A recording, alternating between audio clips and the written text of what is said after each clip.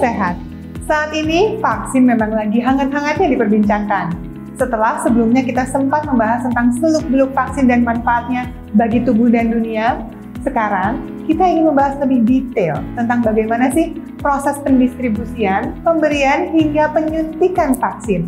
Nah, saat ini saya sudah bersama dengan Dr. Elizabeth Jane Supati MPH untuk membahas lebih lanjut mengenai kebijakan dan pengalamannya kampanye imunisasi di Indonesia.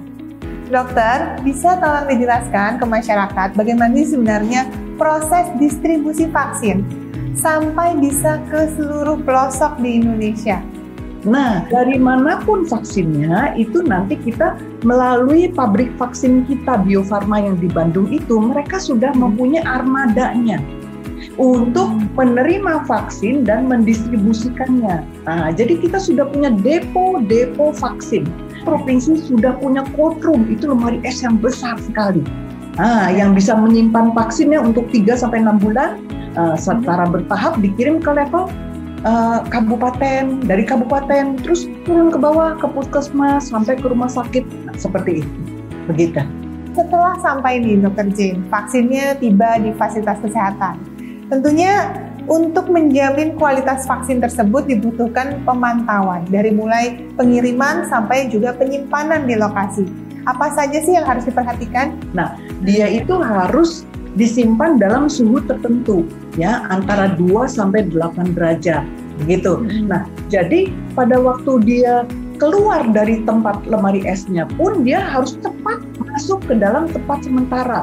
Itu ada seperti box-box lemari es vaksin tidak sama dengan lemari es uh, makanan yang biasa, beda sekali. Ya pasti supaya suhunya stabil tentunya ya, ya gitu ya. seperti itu. Ya. Idealnya nih proses pemberian imunisasinya sendiri untuk COVID-19 seperti apa sih dok?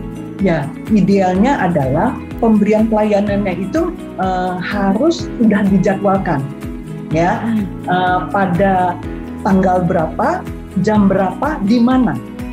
Nah, itu baik petugas yang memberi pelayanan maupun masyarakat harus tahu, sehingga pada waktunya nanti pemberi pelayanan dengan yang dilayani itu ketemu, teratur tempatnya di mana, waktunya kapan dan siapa yang bekerja di situ dan siapa yang datang.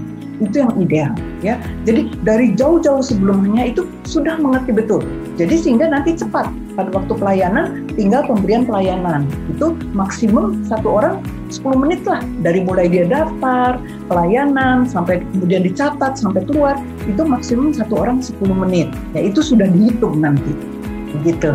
Terima kasih banyak dokter Jane. Sehat selalu. Sehat selalu.